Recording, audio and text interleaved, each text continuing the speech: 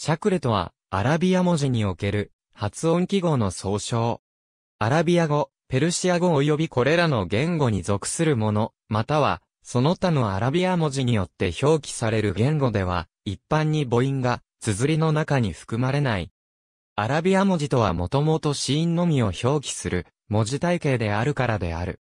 このため、アラビア語初学者などには読みづらいという問題があり、アラビア語教、のりもと、子供向けの本や、教科書、クルアーンをはじめとするイスラームの書物などではシャクルを振ることがある。一方で、通常の文章中には用いられることは少ない。シャクルの中でも、最も基本的な役割である、母音を表すもの。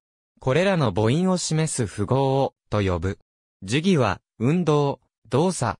ファトハファトハファトハは、A の単母音化を持ち、文字の上に、右上から左下に引いた、短い斜めの線で記す。時義は、穴、口、割れ目。長母音の時は、当該子音文字に続けて、大き、その上に、ファトハを打つ。この時、ファトハは、子音文字とのどちらの上に打つかについての決まりは、特にないが、慣習的にの上に打たれる。ただし自体の長母音化は口述のマッダを用いる。カスラカスラカスラは、愛の単母音化を持ち、文字の下に、右上から左下に引いた、短い斜めの線で記す。時義は、破壊。長母音の時は、当該子音文字に続けて、大き、その下に、カスラを打つ。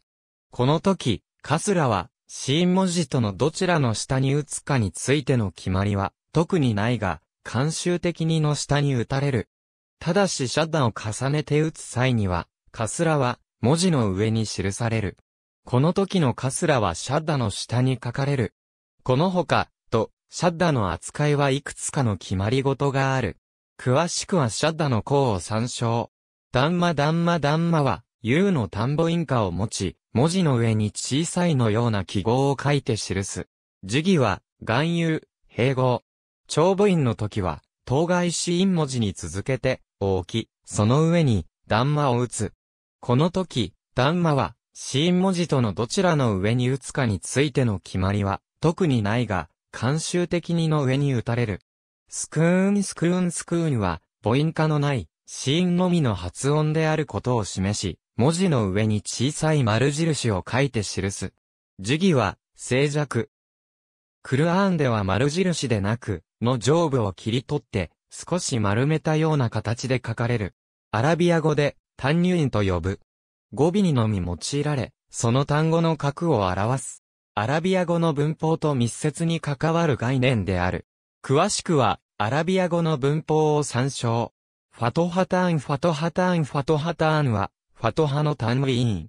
アンの音化を持ち、文字の上に、右上から左下に引いた2本の短い斜めの線で、記す。非限定の体格を表す。副詞として使うもののうちもともと名詞だった場合では、体格化して用いるため、基本的に、ファトハターンを付け、アリフが添えられている。この時のタンウィーンは、他のシャクル同様に日常的には書かなくても良いが、慣習的によく書かれる。例、もしくは自伝、もしくはハックコンなど、カスラターンカスラターンカスラターンは、カスラの単ウィーン。インの音化を持ち、文字の下に、右上から左下に引いた2本の短い斜めの線で、記す。非限定の俗格を表す。ダンマターンダンマターンは、ダンマの単ウィーン。運の音化を持ち、文字の上に小さいのような記号を2つ書いて記す。この書き方はいくつかあり、単純に小さなを並べる、対極を左右反転させたような形で並べる、末筆を折ったように、を一つ書く、などがある。非限定の主格を表す。その文法的位置づけから、辞書や教則本では基本型として例示された単語に、つくことが多い。母音化を表す、以外のしゃくる。シャッダシャッダシャッダは、子音の重複を表し、文字の上に、W のような記号を書いて記す。時義は、激しさ。ワスラツキアリーフワスラワスラは、の無声化を表し、文字の上に小さいのような記号を書いて示す。時義は、連続、接続。ハムザのつかない語頭のにしか使われない。例えば定冠詞の読みはあるだが、このにはハムザはなく、従って文中にある時のは無声化する。この音便を表すために、わすらが使われる。なお、定冠詞に続く語が、対応文字で始まる場合、も無声化し、発音上は、の音は、完全に消える。に続く語頭がシャッダ化することが定冠詞のついた語で、あることを示す。バスラのついたの直前に、ハムザがなく、タンウィーンもつかない、がある場合、すなわちワスラ付きの直前の単語が A の長母音であるとき、その長母音も単母音化される。例えばの読みは、マッスミカになる。マッダ付きアリフマッダマッダは、の長母音化を表し、文字の上に引いた短い横線で記す。音化はアン。時義は、延長、供給。マッダのついた、にはハムザはつかず、ワスラもつかない。マッダ自体が A の長母音を表すためファトハもつかない。感動詞を除けば、語尾に使われることもないため、タンウィーンにもならない。したがって、マッダのついた、には、他のシャクルと重なることも差し替わることもない。原則として、通常でも書かなければならない。現代において本来であればいわゆるハルフに属するものであり、一般にはシャクルに含まれないとされることもあるもの。ハムザハムザは、正門閉鎖音を意味し、文字の上、または下に小さい、を書いて示す。ととにしか用いられない。では、母音化が、A もしくは、U の時には、文字の上に、I の時は下に記す。では、文字の上に記し、この時の点は打たずに、とする。では、文字の上に記す。